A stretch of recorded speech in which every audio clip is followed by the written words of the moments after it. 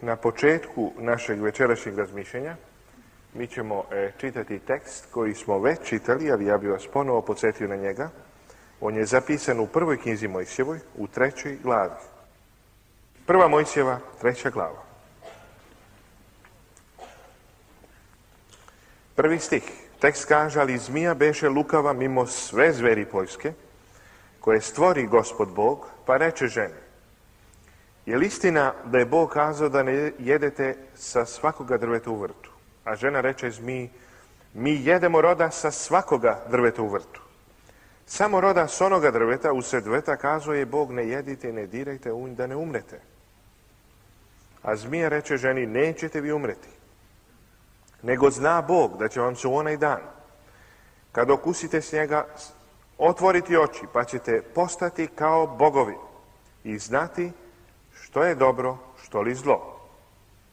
I žena videći da je rod na drvetu dobar, za jelo i da ga je milina gledati da je drvo vrlo drago radi znanja, uzabra roda s njega i okusi, pa dade i mužu svojemu, te i on okusi. Tada im se otvoriše oči i videše da su goli, pa spletoše lišća smokova i načiniše sebi pregače. I začuše glas gospoda Boga koji iđeše po vrtu kad zahladi. I sakri se Adam i žena mu ispred gospoda Boga među drveta u vrtu. A gospod Bog viknu Adama i reče mu, gde si? A on reče, čuh glas tvoj u vrtu, pa se poplaših, jer sam go te se sakrih. Evo dakle teksta koji stoji iza našeg večerašnjeg razmišljenja. Naslov teme jeste Adamov greh i greh danas.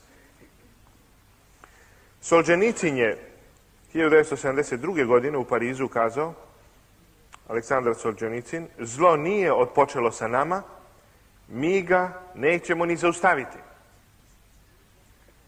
A Kierkegaard je također dao jednu zanimljivu definiciju kada je kazao jedna od kapitalnih definicija hrišćanstva jeste da suprotno od greha nije vrlina, nego vera. I u okviru ovih e, filozofskih definicija mi ćemo pokušati da večeras govorimo. Govoriti danas o grehu može izgledati anahrono, iluzorno, možda zastarelo.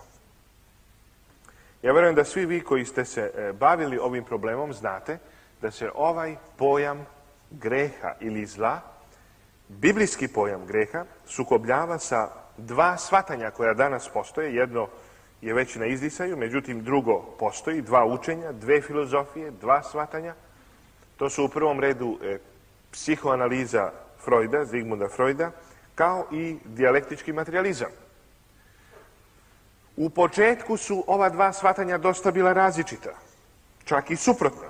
Međutim, kasnije i psihoanaliza Freuda kao i dijalektički materializam se postepeno ujedinjuju i počinju polako upotrebljavati zajednički jezik u cilju objašnjenja tog velikog fenomena koji mi nazivamo zlo ili greh sa kojim se suočavamo na ovoj zemlji. Kako objasniti te čudne fenomene ljudske psihe i kako objasniti problem zla.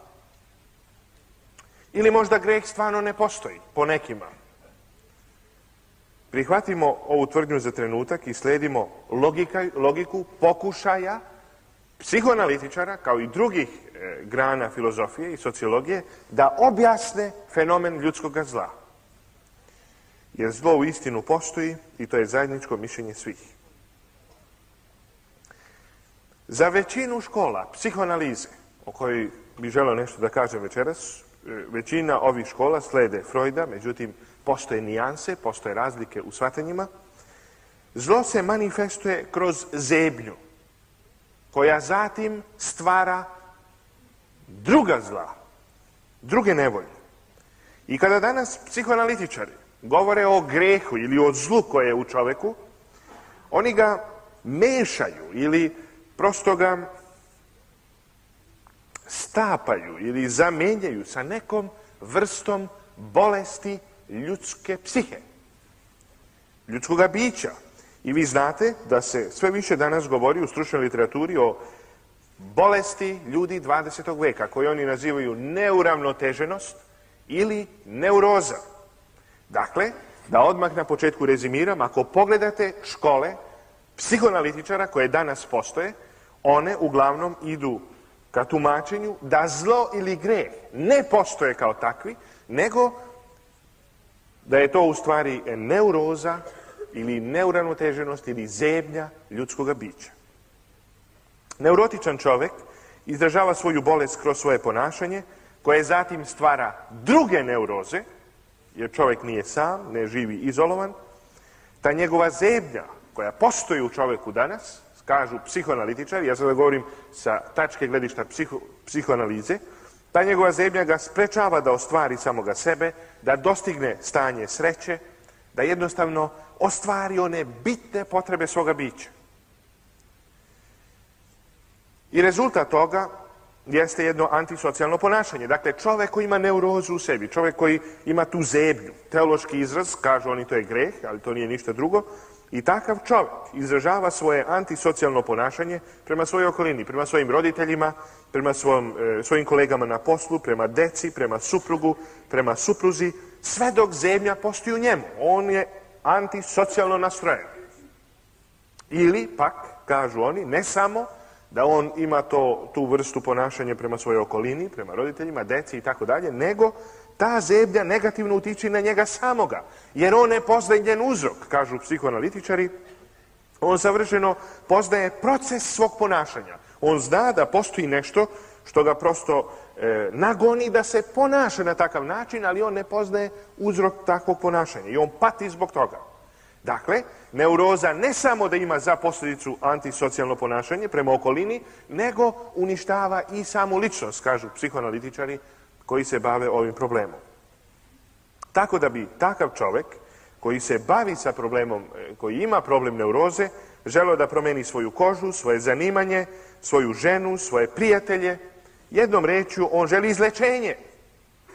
On želi mogućnost života u harmoniji ili skladu sa svojom okolinom, sa svojom suprugom, sa svojim suprugom, sa svojom decom.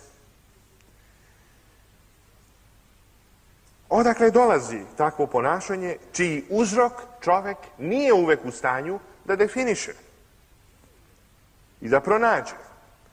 Ne samo u sebi, nego i u drugome. Čovjek je svestan koji ima probleme sa neurozom, da jednostavno nisu uvek drugi krivi za njegovo takvo ponašanje. Na ovo pitanje psihoanaliza Freuda odgovara grosso modo na sljedeći način. I vi to znate koji ste učili filozofiju i psihologiju da u stvari neuroza, jedno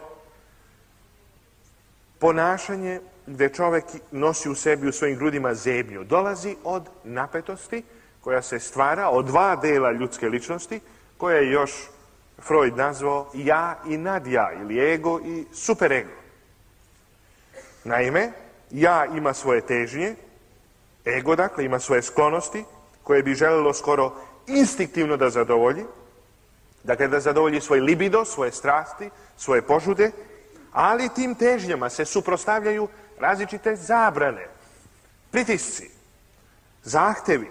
I tada ljudsko nadja ili superego izlazi iz spoljašne, naturene savesti biću i prihvata ove zahteve, natura ih delu bića koje mi nazivamo ja, i tako nastaje rat u čoveku, nastaje neuravnoteženost, nastaje zemlja, nastaje nelagodnost. Dakle, takav čovjek bi želeo da promeni svoju kožu, da promeni e, e, prijatelje, da pronađe izlečenje. Takav čovjek se ne osjeća ugodno sam u sebi, u, svom, svom, u svom biću. On se povlači u sebe i jednostavno ponaša se na jedan antisocijalni način. Ne samo to, kažu psihoanalitičari, nego tako nastaje osjećanje krivice. I to je veliki problem. Ja sam planirao da večeras možda ovdje govori jedan neuropsihijatar, e, međutim nisam uspio da e, pronađem jednog mog dobrog prijatelja. Tako, možda je dobro da smo čuli i e, aspekt jednog neuropsihijatra koji bi sa svoje tačke gledišta govorio o ovom problemu. Problemu krivice. Dakle, usred rata u čoveku između ega i super ega dolazi do osjećanja krivice možda podsvesnog, u kome se odvija neka vrsta mitske borbe, kaže Freud, izvan vremena i prostora. I ta borba u čoveku stvara e, poremećaje, utvare, podsjeća, kaže Freud, na ostatke neke daleke prošlosti, kada je dete u isto vrijeme mrzelo i volilo svoga oca, želilo da ga ubije, da bi zauzelo njegovo mjesto i na taj način postalo odraslo, dok je u isto vrijeme za ocem osjećalo potrebu više nego ikada ranije. Da bi se zlo objasnilo sada, još uvijek smo na području psihoanalize Freuda. Znači, e, ovo što govorim jeste e, psihoanalitički pokušaj da se reši problem zla i shvatanje zla. Da bi se zlo rešilo ili da bi, da bi se čovjek, da bi iz čovjeka nestala ta borba mitska koja se ne može objasniti racionalnim kategorijama. E, psihoanalitičari koriste neku vrstu arheološkog rituala. Naime, vi to svi znate da e, oni žele povratak u vlastitu prošlost, reaktualizaciju te prošlosti. Kopanja po prošlosti. I na taj način se smatra da se može pronaći uzrok te zemlje koju čovjek nosi u sebi ili osjećanja krivice, koji je sakriven negdje u dalekoj prošlosti. Psihoanalitičar će na taj način, smatra se, osloboditi individu od e, tog osjećanja, dakle, reč je po psihoanalitičarima o radikalnom nestanku krivice. Ja verujem da, da ste uspjeli da pratite, vi koji studirate, poznajete ovo jako dobro, nisam vam ništa novo kazao. U svakom slučaju, Freud smatra da treba reaktualizirati prošlost, treba kopati po prošlosti, otkriti uzrok neuroze, zebnju u čoveku. Kada čovjek sazna svoj uzrok, nestaće krivica, nestaće zebnja, zebnja, nestaće nelagodno ponašanje u čovjeku, jer će čovjek razumeti sobstveno ponašanje. Istina je, smatram, da postoje određene neuravnoteženosti ili neuroze, čije posljedice ili čije uzroke treba tražiti u, prošlosti, u detinstvu. Ja se sa tim potpuno slažem. I istina je da psihoanalitičari često leče i izleče bolesnike koji imaju problem neuroze u sebi. Ali je isto tako istina da postoji masa ljudi kojima psihoanalitičari nisu u stanju da pomogu. I tu je psihoanaliza potpuno nemoćna. Zbog toga, molim vas, sada bih želio da me da pokušate, da, ja ću se truditi da objasnim ono što želim da kažem. Zbog toga smatram da je potrebno da večeras napravimo jasnu razliku između dve stvari. Između zakonitog osjećanja krivice. S jedne strane, dakle zdravih ljudi, i s druge strane onih ljudi koji su bolesni i koji imaju istina lažni osjećaj krivice. Ja ću još jedan put ovo ponoviti.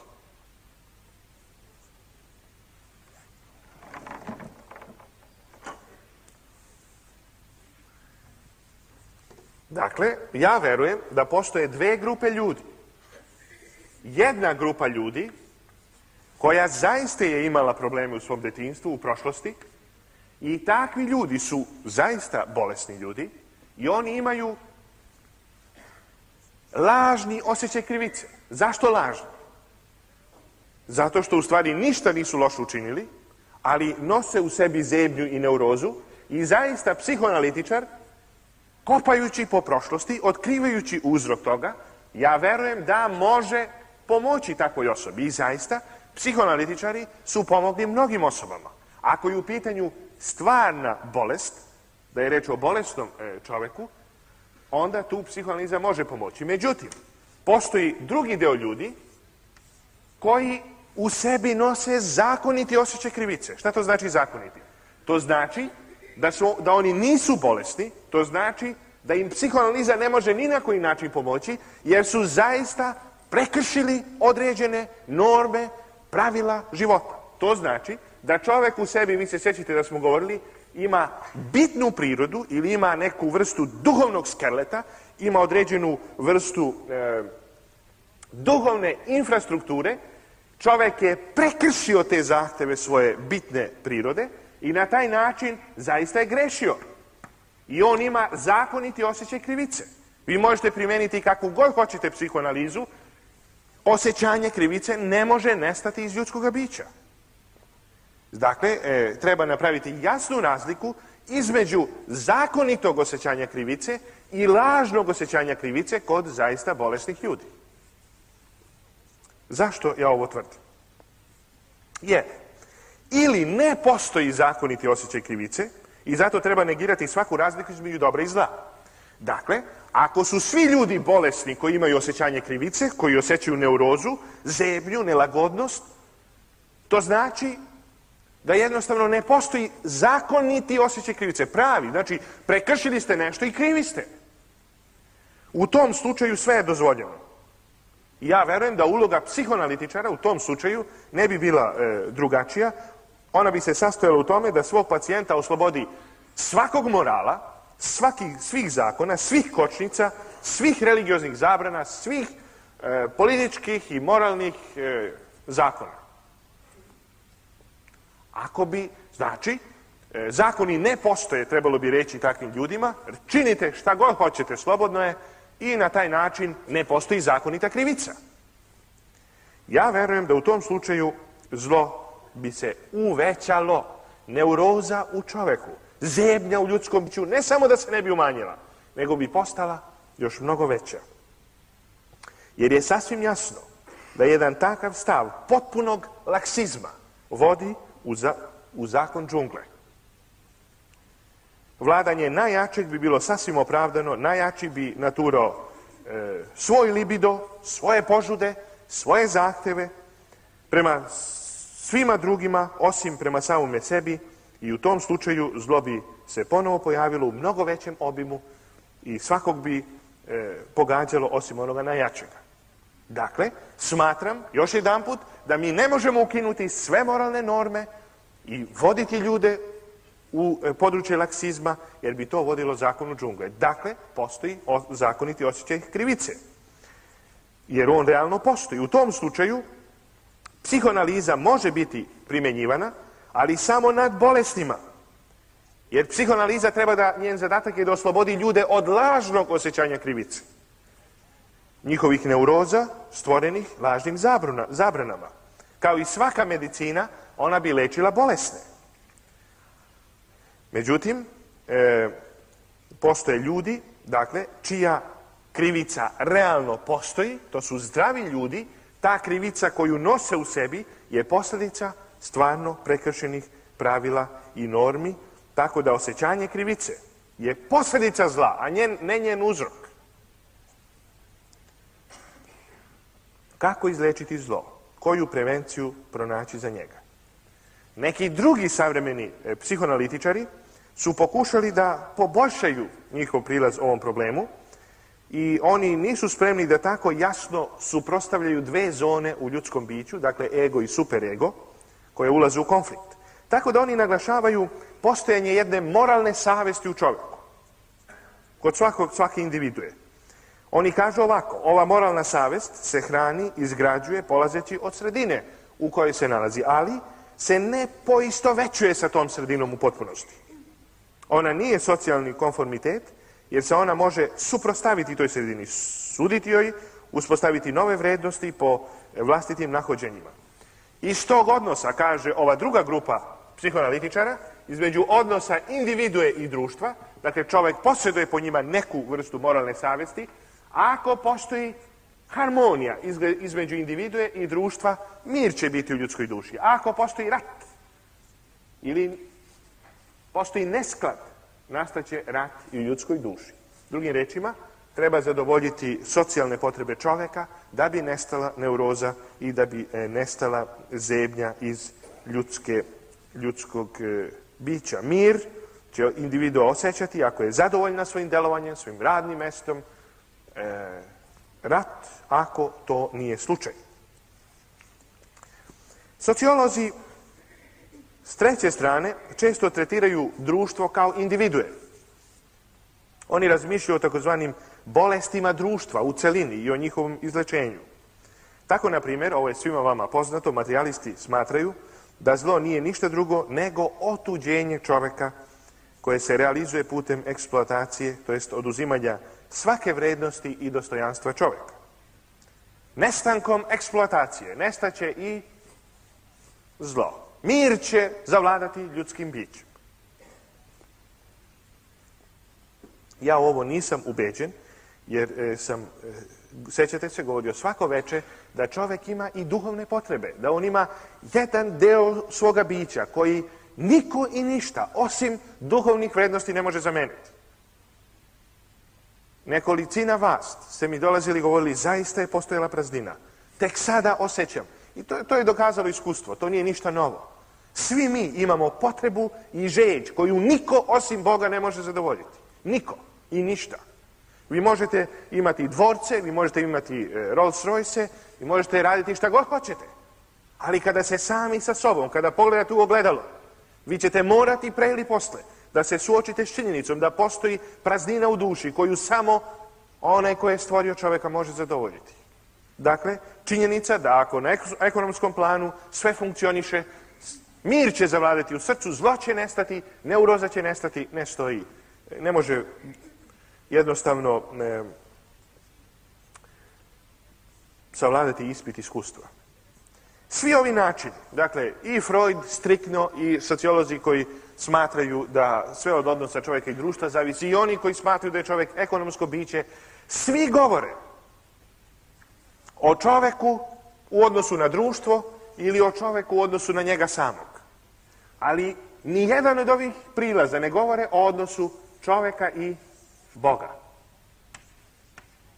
Zato ja smatram, posle svih pokušaja, da se reši ljudsko zlo, ljudskim rukama, da se sagradi realnost ljudskim rukama, ljudska realnost, da bi čovjek eliminisao zebnju iz svog bića, neuravnoteženost, nelagodnost u vlastitoj koži. Smatram da je pošteno pogledati i odnos između čovjeka i Boga. Čovjeka pred Bogom, jer kao što sam kazao, ne verujem da se problem zla ili greha ili zebnje ili neuroze, kako god hoćete, može rešiti osim ako se razmišlja također o čovjeku pred Bogom. Jer zaista zlo je ljudsko beznađe. Zlo ostaje da postoji dok predložena rješenja ne mogu zadovoljiti čovjeka. I kao što sam kazao, zlo često vodi u beznađe, kao što je to i Kierkegaard kazao na jednom drugom mestu, da zebnja u čovjeku rađa ludu želju, beznađe, da čovjek bude nešto drugo od onoga što jeste. I to je prvobitni greh. Ja ću o tome malo kasnije govoriti. Želja čovjeka da bude nešto drugo nego što je on u stvari. Da ne bude više stvorenje, nego da on bude Bog. Da on kreira vrednosti svemira. Jer jedna grupa ljudi odbija da prihvati krivicu i pripisuje je nekome drugome. Ili je potiskuje u svoju podsvest. Tako se zatvara u svoju slabost, u svoju usamljenost koja rađa druga zla. Vi znate da postoje dve vrste osoba, tako? Postoje intravertne osobe i postoje ekstravertne osobe. Jedna grupa ljudi, vam kažem, krivi ste. Ne, nisam. Neko drugi, uvijek je neko drugi kriv. Druga grupa ljudi nikada ne kaže drugi je kriv. Intravertne osobe, nego trpe, u sebi to preživljavaju i konačno nemir se nastani u duši. Ako pak čovjek želi da bude samo on, prihvatajući svoje odgovornosti, svoje vlastite pogreške, svoje zablude, svoje propuste i želi da živi sa njima, smatra se da takav čovjek završava polaganom smrću uništen vlastitim teretom. Iako mu u međuvremenu možda neki psihoanalitičar skine deo tereta koji nosi u sebi. To je drama, to je beznađe čovjeka. To je ono o čemu su egzistencijalisti Sartre, Camus, Heidegger, Kierkegaard govorili o velikom problemu smisla ljudskog postojanja. Jer mnogi smatraju da je ljudski život zaista jedna mučnina, da život nije vreden da ga čovjek živi, da je život kontradiktornost i tako dalje. Upravo kao posljedica ljudskog beznađa. Jer zlo postoji, ono nas pritiska, mi ga činimo, mi se sa njim susrećemo, mi patimo zbog njega, činimo ga drugima, činimo ga i sebi samima. Zato smatram kao što sam kazao malo pre, da bi bilo dobro, posle razmišljanja o čoveku u odnosu na e, društvo ili čoveku u odnosu na njega samog, da razmišljamo i o odnosu čoveka pred Bogom. U tom slučaju čovjek zaslužuje da jednostavno shvati da oslobođenje od zla ne može doći od njega samoga. Oslobođenje od krivice i od prave, zakonite krivice može dati samo neko, drugi. Ja verujem da je to Bog. Sa druge strane, ja sam vam već govorio, čini mi se, da mi zlo ne možemo objasniti racionalnim kategorijama. Jer kada bismo ga mogli, ili greh, kada bismo mogli greh objasniti racionalnim kategorijama, mi bismo ga i opravdali. Vi se sjećate da sam kazao da je zlo realnost sui generis. Jedina takva realnost u svemiru. I zato ja bih pokušao večeras da samo posmatramo kako se zlo manifestuje. Konačno, istorija Adama i Jeve ne daje objašnjenje zla. Ono objašnjava, ova istorija objašnjava sad kako su oni postali grešnici. Jer greh nema dimenziju po sebi. Ja sjećate se da sam kazao da greh nije, nema ontološku realnost. To nije zrno prašine ili planeta ili, ili mikrofon ili Zlo je jedna posebna realnost. Ako bi, ako bi pokušali da ga definišemo, dozvolite da kažem da je greh, biblijski gledano, greh je odbijanje. Još jedan ću ovo ponoviti. Greh po Bibliji je odbijanje.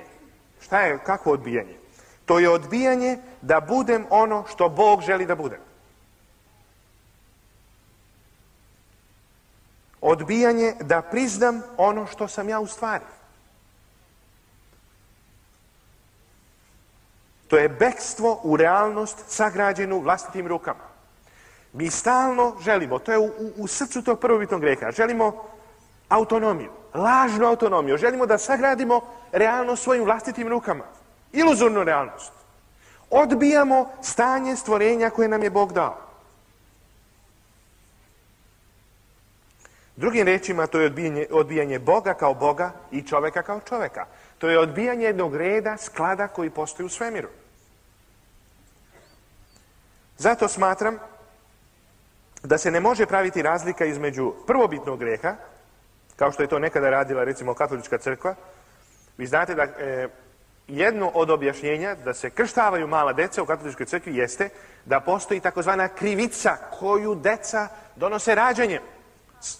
Molim? Jeste, to je taj prvobitni ili pravoditeljski greh. I smatra se, dete se krštava da bi se očistilo od te, od te krivice, od te... Jeste. Međutim, biblijski gledano, greh se ne prenosi genetskim putem. Ako je ovo Adam i Eva, biblijski greh se ne prenosi genetskim putem. Ali, jer pazite, šta je greh? Greh je prekršaj zakona. Da li je to malo dete prekršilo zakon? Nije prekršilo. Mi ne možemo dakle govoriti da se greh prenosi genetskim putem. Šta se prenosi genetskim putem? Prenose se sklonosti, prenose se posljedice greha. To znači, kada se jedno mala beba rodi, kada sam se ja rodio, ja sam automatski bio sklon da činim greh. Ja, ja osjećam posljedice tog greha, ali ja postajem grešnik onog trenutka kada ja sam učinim greh. Ne znam da li sam jasan dovoljno. Znači, mi ne možemo govoriti da se greh Adamov prenosi genetskim putem. Prenose se posljedice toga greha. Onda, kada ja svojevoljno odlučim da kršim određene principe, ja postajem grešnik. Zato e, smatram da e, prvobitni greh je greh koji je učinjen u početku od strane dve ličnosti koje su e, odabrale da ne prihvate vlastito stvaranje stvorenja pred Bogom, to je prvobitni greh koji je ostao do danas. Ne zato što se prenosi putem hromozoma, nego zato što se osjećaju njegove posljedice. Ne samo to. Zanimljivo je da se prvobitni greh Adama i Eve ponavlja sve do danas. Jer greh Adama i Eve je i moj greh. To je greh svih ljudi u njihovoj večnoj pobuni protiv Boga i protiv njih samih. Uvek u životu, kada bežimo u realno sagrađenu vlastitim rukama, kada smatramo da mi možemo se iščupati od, od zla i greha, Kada mi postanemo aršin za merenje onoga što je dobro, a što je zlo. Kada odbijamo principe Bože, kada odbijamo plan koji Bog ima za ljudsku rasu, mi činimo prvobitni greh. Mi želimo autonomiju koja je lažna. Jer ne postoji autonomija u odnosu na Boga. Čovjek je stvoren da živi sa Bogom. On je stvoren za Boga, kao što kaže jedan autor. On je stvoren za da uživa u prisutnosti Božoj i da Bog uživa u prisutnosti ljudskoj. Bog je stvorio čovjeka da mu se raduje. Svako drugo stanje čovjeka, osim u toj zajednici sa Bogom, je stanje otuđenja, stanje zemlje, stanje straha, stanje neizvesnosti, stanje beznađa. To je biblijski stav. Mi možemo odlučiti da idemo, imamo slobodnu volju, odlučiti da idemo svojim putem. Ali svako kršenje svemirskih principa harmonije vodi čovjeka u stanje zemlje i neuravnoteženosti. Moji gresi, moje akcije, moje grešne misli, moji aktivni gresi, moji prekršaj nisu u svojoj suštini, dakle ništa drugo do konkretna realizacija raspoloživosti celog mog bića, da se pobunim protiv Boga. Mi smo nasledili sklonost pobune u nama protiv Boga. Mi bismo željeli da pobegnemo.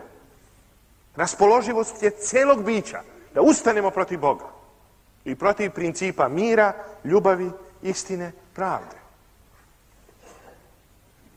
Tako da greh u svojoj biti nije samo jedan nedostatak, prekršaj, manja, mana, to je stanje odbijanja, stanje revolta čovjeka. Kao što sam kazao, prvobitni greh o kome se mnogo govori, to je greh svih ljudi, to je greh od početka, neprenosiv, ali obnavljan uvijek iznova, tim više što prekid veze sa Bogom povlači za sobom posljedice koje umanjuju umne sposobnosti čovjeka. Ovo je vrlo važno. Slabe njegovu psihu i jače, jačaju njegovu želju za pobunom. To znači da onog dana, od Adama pa nadalje, moje mentalne sposobnosti su oslabljene. Snage za pobunom su veće protiv Boga. Tako da pri kraju istorije čovečanstva metalne, mentalne moći čovjeka će biti najslabije. A želja za pobunom protiv istine, pravde, mire i ljubavi će biti najveće u odnosu na bilo koji period u prošlosti. To je biblijski stav. Greh će se umnožavati na osnovu Biblije. Jer zlo rađa zlo i hrani se njim. Stvorenje nije imalo izbor po Bibliji između jednog Boga dobra i jednog Boga zla, kao što bi neki to hteli. Ono je moglo birati između prihvatanja svog stanja stvorenja pred Bogom i odbijanja tog stanja. Dakle, u Bibliji nema dualizma. Zlo nije nešto ili neko, ali također nije ni ništa. E, zlo nije neuroza, zlo nije bolešljivost čovjeka koji nosi krivicu, zlo je osjećanje krivice kao posljedice greha koji je čovjek učinio. Evo načina kako naš tekst koji smo na početku čitali podvlači ovu činjenicu. Na primjer, jasno je da su Adam i Eva pre učinjenog greha bili goli. Pogledajte tekst. Druga glava, 25. stih. Prva Mojsijeva, druga glava, 25. stih. I nisu osjećali stid. Pogledajte tekst. Kako biblijski pisac je na jedan modern, savremeni način podvači problem ljudskog mira i lagodnosti u svojoj vlastitoj koži. Druga glava 25. stih. A beh bijahu bjehu, oboje goli, Adam i žena mu, i ne beše ih šta? Sramota. Dozvolite da tvrdim da u ovom stanju Adam i Eva su bili nevini. Nevini ne u seksualnom smislu, u polnom smislu, Ovdje nije reč o polnoj čistoti. U ovom stanju svoga postojanja oni nisu imali razloga da se stide, jer su bili na njihovom mestu, u svojoj koži, u zajednici sa Bogom. Sve je bilo u redu.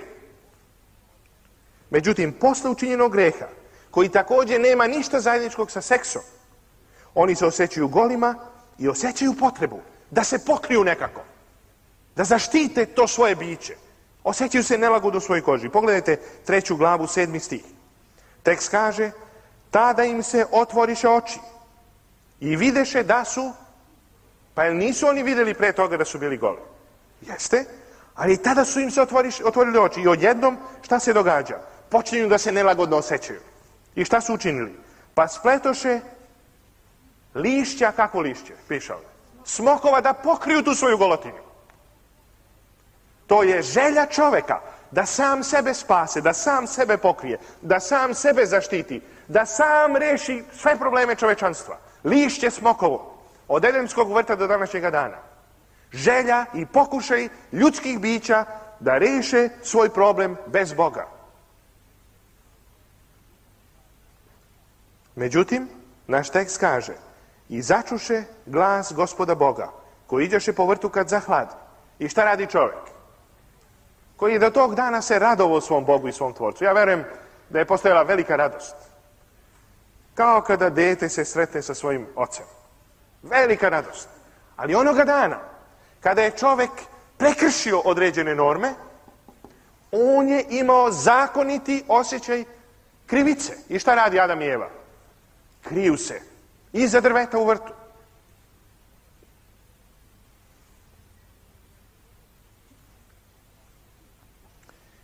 Dakle, i posle učinjenog greha, kao što sam kazao, koji nema ništa zajedničkog sa, sa ovim e, polnim delovanjem ljudi, oni se osjećaju golima i osjećaju potrebu da se pokriju. To je zakoniti osjećaj krivice koji ljudi imaju, koji niko i nikakva psihoanaliza ne može da reši.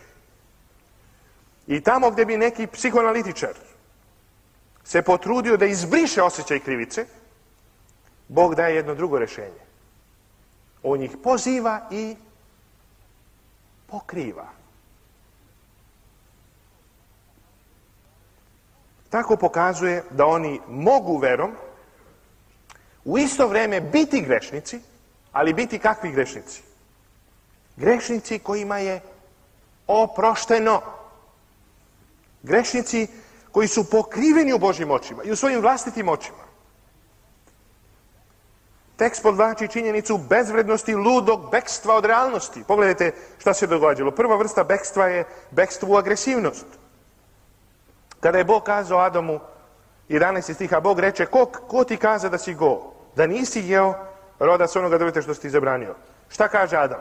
12. stih. Žena koju si udružio sa mnom. Ona mi dade drveta, s drveta te jedo. To je vrlo modern tekst. Zebnja, strah, osjećanje krivice. Nisam ja kriv. A šta radi žena? Pogledajte. A gospod Bog reče ženi, što si to učinila? A žena odgovori, zmija me prevarite jedo. Nisam ja kriv. I tako dalje. Zatim, drugi, druga važna vrednost ovog teksta jeste da tekst podvlači bezvrednost bekstva pred svojom savešću. Adam i Eva pokušavaju da se sakriju pred Božim pogledom. To smo već čitali. Sakriše se daleko od lica gospoda Boga, kaže tekst. Odbijanje Adama i Eve da se prihvate takvim, takvima kakvi su. To je odbijanje grešnika koje vodi u stanje zebnje. Dakle, ako ima, postoji nama krivica, ako postoji nelagodnost, ako postoji zebnja, postoji samo jedan put, a to je prihvatiti to stanje i prihvatiti oproštaj Boži, milost Božju, prihvatiti da nas On pokrije, da nas On proglasi drugačijima. Vi koji ste iskusili oproštaj Boži, vi znate o čemu ja govorim. Ja sam razgovarao mnogo puta sa ljudima koji su cijeli svoj život nosili krivicu kao, kao teško breme, sve dok nisu sami sa Bogom, na kolenima, u tajnosti svoje sobe, shvatili da Bog im može oprostiti, ako se kada, kada su se iskreno pokajali. Što se tiče Adama i Eve, oni su pokušavali da sami sebe sakriju, da sami sebe obuku, da sami sebe opravdaju. Nasuprot tome, Bog ih poziva da prihvate sami sebe takvima kakvi su, da priznaju svoj greh, da se ne maskiraju ili da ne negiraju, nego da verom prihvate Boga koji ih spasava, da prihvate njegovu pravdu, njegovu milost, njegov oproštaj, njegov plan za njihov život. Hrišćanska vera je od svojih začetaka u biblijskom tekstu bila ona koja je donosila rješenje za problem zla. Ja bih večeras želeo također da vam kažem biblijski stav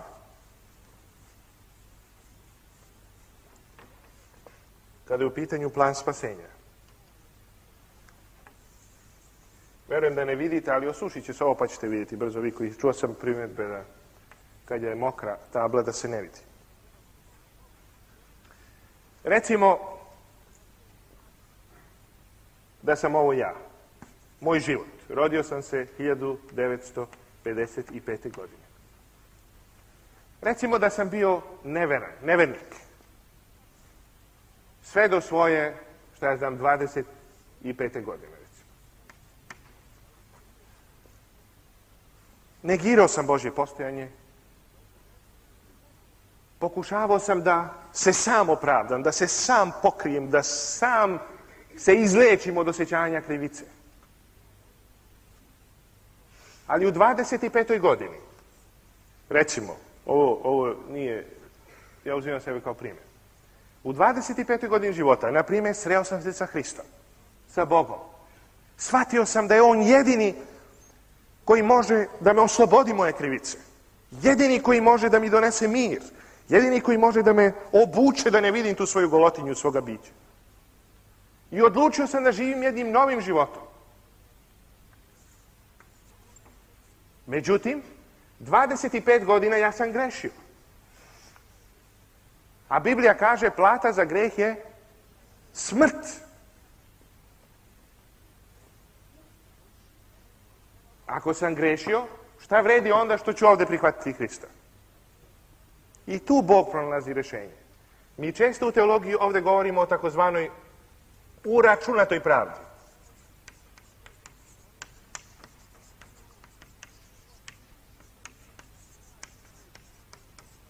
Ona glasi ovako. Apostol Pavlo u Rimljanima poslanici, čini mi se kaže, ne gledajući Bog na vreme neznanja, sada zapoveda, i tu se govori o ovoj pravdi uračunati. Šta, šta znači uračunata pravda? To znači, zato što u ovom trenutku mog života ja prihvatam Hrista kao svoga spasitelja i krstio sam se, uronjavanja. Bog moje grehe koje sam činio u ovom periodu uračunava Hristu govoreći čisto pravnim jezikom. A Hristov pravedni život uračunava meni. Hristos je za te grehe umro na krstu Golgote i on je zadovoljio maksimum svemira. Plata za greh je smrt.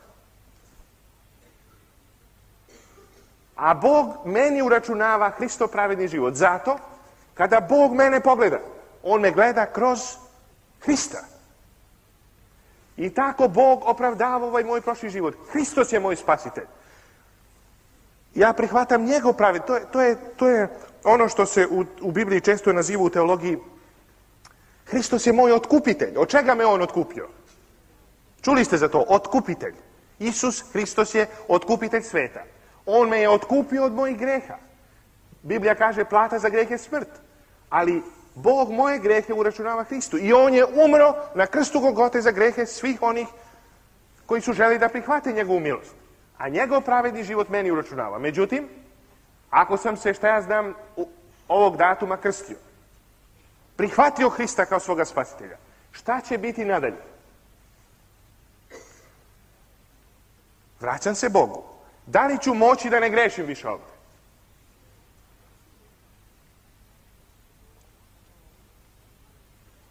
Ovdje se govori o takozvanoj datoj pravdi. Šta to znači? Hajmo da čitamo Filibljanima poslanicu. Ja mislim da je to druga glava, 13. stih. Filibljanima poslanica. Novi zavet. To je 172. stranica u mom formatu Biblije. Filibljanima 2.13. Tekst kaže. 101.7.2 u, mom, u mojoj Bibliji. Ovo je vrlo važan tekst. Biblija kaže, jer je Bog što čini u vama, da hoćete i učinite što mu je ugodno. 13. stih. Filibljanima druga glava, 13. stih. Filibljanima poslanica svetoga apostola Pavla. Onoga dana kada sam ja odlučio da prihvatim Hrista kao svoga spasitelja, Biblija kaže da će mi Bog dati snagu, ako ja to želim. Jer je Bog što čini u vama, šta čini? Slušajte, pažljivo Pavlo je reći koje je imao istančeno uho za duhovne procese u čovjeku. Jer je Bog što čini u vama. Šta prvo? Da hoćete i da učinite ono što je njemu ugodno. Šta to znači? Kada hrišćanin živi životom hrišćanina, on ne živi principe pravde, istine, ljubavi, mira s mukom nekom. Bog to kaže i ja moram to da učinim. Hrišćanin to čini jer želi. On shvata da je to dobro što čini. On se raduje u to. On će hteti da to čini. Bog će prosvetiti njegov um i vidjet će da je zlo zlo i da je ružno i da je odvratno i da je blato i pobeći će od njega daleko. A shvatit će svu lepotu mira, istine, pravde, ljubavi. Jer je Bog što čini u vama. Da hoćete i da učinite što je njemu ugodno. Znači, ovdje se govori o tome da će Bog dati snagu čovjeku da živi. Međutim, iako smo to kazali, bit će trenutaka, mi ne možemo reći da život vernika ide ovako uspravno. To nije realna crta. Bilo bi realnije to nacrtati ovako. Međutim, u stvari, on napreduje dalje.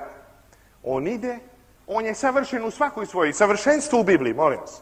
Nije tačka, plafon koju čovjek dostigne. Kao biljka koja počne da raste. Ona je krasna i kada je ovoliko velika i kada je ovolika, ona je u svakom svom stadijumu savršena. Savršenstva, biti savršen, znači biti u svakoj tačci. Onakav kakvog me Bog želi. To znači napredovati u svojoj vezi sa Bogom, u svojoj zajednici sa Bogom. Ima loših trenutaka kada čovjek ponovo silazi, ali diže se i napreduje. Jovan, sveti Jovan Bogoslov kaže, dečice, ovo vam pišem da ne grešite. Ali, ako neko sagreši, imamo zastupnika kod oca. Isusa Hrista, pravednika. Vrlo važan tekst. Ovako Bog opravdava čovjeka, vidite. On ga pokriva njegov prošli život i on mu daje snagu da živi jednim novim životom.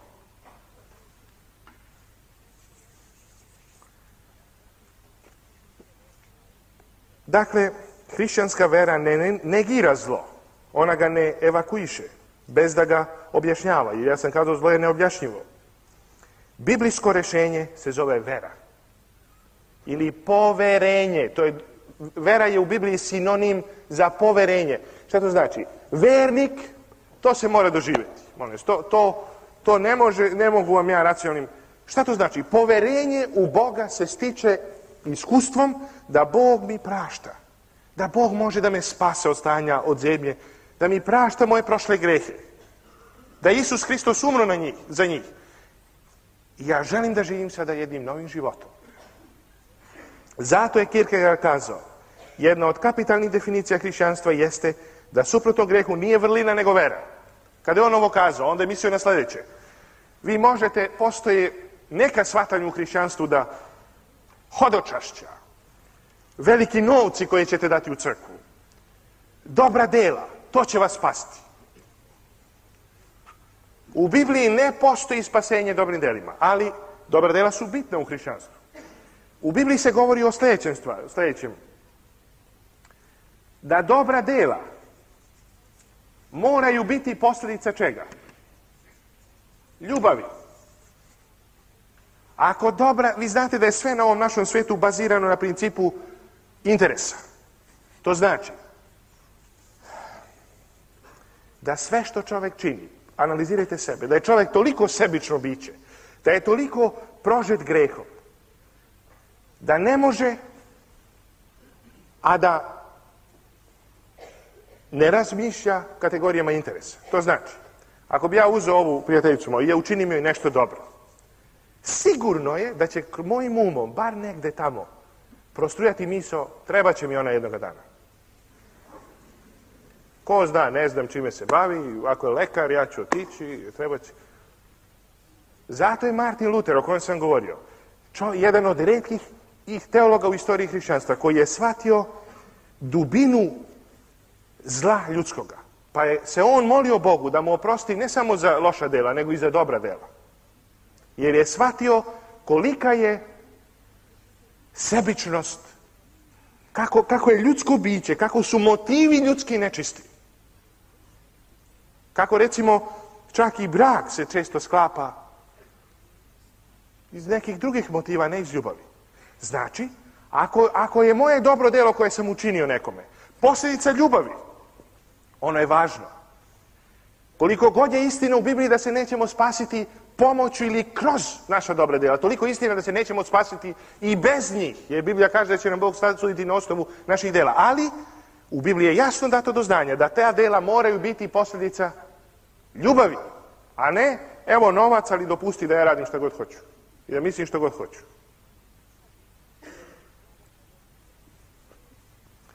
Čovjek grešnik, dakle, ima samo jedno rješenje pred Bogom. Da prizna ono što jeste, ništa više, ali ništa i manje, priznati da je grešnik. To znači ne bežati od samoga sebe. Ne bežati od Boga ili tražiti lažne uzroke svoje zemlje. Meni se čini da hrišćanska vera radikalno rešava taj zamršeni krug psihoanalitičara. Krug zemlje. Greh vodi čovjeka u zemlju, zemlja rađa neurozu koja me parališe, odvodi od dobra, povećava moju sklonost ka lošim delima i lošim mislima. Od sada Bog ovaj začarani krug kida milošću svoju. On pokriva grešnika koji ostaje grešnik dok Hristos ne dođe. Ali koji postaje oprošteni, opravdani grešnik. On više nema potrebe da živi u beznađu, jer ga Bog prihvata takav, takvim kakav je. Tako da on može i sam sebe da prihvati. Bog ga voli iako je grešnik.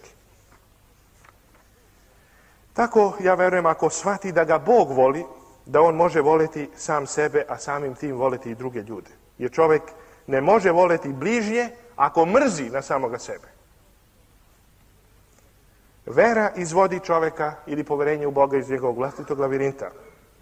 On postaje slobodan na svom nivou, istina ograničen, ali vera mu pomaže da ne živi u beznađu i da više ne pokušava da beži u e, apsolutizaciju ili želju da on sam postane Bog.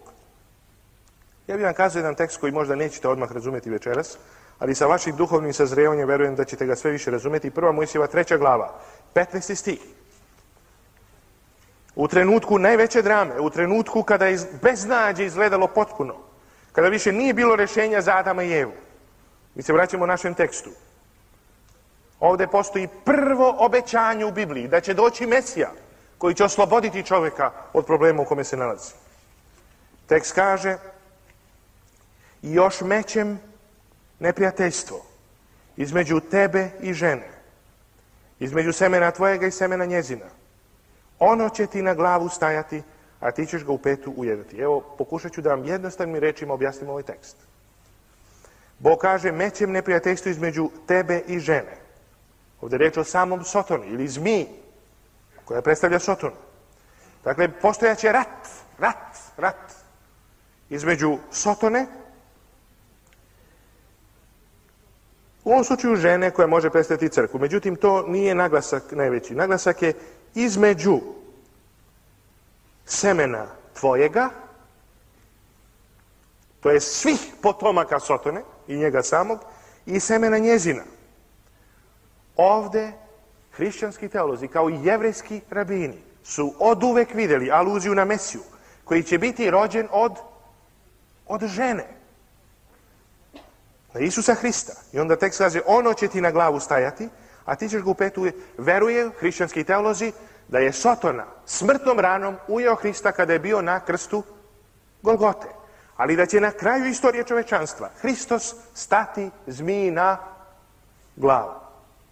Ono će ti na glavu stajati, to ženino seme, a ti ćeš ga u petu ujedati. Tekst koji ne izgleda sasvim jasan, ali je bogat značenjem. Prvi u Bibliji. Čim je čovjek se osjećao golim, čim se osjećao da je u stanju neuroze, Bog daje obećanje. Doći će neko ko će ipak na kraju istorije stati zmiji na glavu. Zlo će biti jednom zauvek uništeno. To je spasenje, dakle, koje je dato ljudima kroz Isusa Hrista besplatno. Potrebno je da verom poverenjem prihvatimo to spasenje. Bez nervoze, bez bekstva, bez fanatizma. Ja ponovo podlačim večeras. Religija koja u sebi sadrži fanatizam nije hrišćanska religija. Postoje različiti zloupotrebe. I vi mladi pogotovo, ako prihvatate Hrista prilikom ovih predavanja, nemojte nikada postati fanatici. Trebate biti najnormalniji građani ovoga društva. Živjeti jednim normalnim životom. Ali životom koji u sebi ima veru u Boga. I poziv koji odzvanja kroz vekove. Je ono što bi želeo da zapamtite večera za kraj. Deveti stih, treće glave prve knjige Mojsijeve. A gospod Bog viknu Adama i reče mu, šta mu je kazao? Gde si? Da li je Bog znao gde se Adam nalazi? Šta znači ovo pitanje gde si? Gde si, o čoveče? Gde si, o čoveče? Gde se kriješ? Kakva to sve drveta postoje između tebe i mene? Gde si, o čoveče?